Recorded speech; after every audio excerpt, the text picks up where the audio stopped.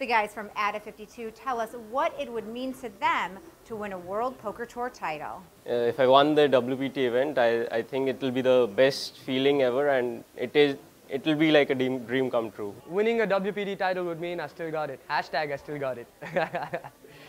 uh, winning a WPT means a dream come true, considering the guarantee and the prize pool and the the fame one going to get. Uh, it's it's uh, very good thing to happen in someone's life, right? It's my first international trip and uh, I'm trying my best here at WPT to make it count.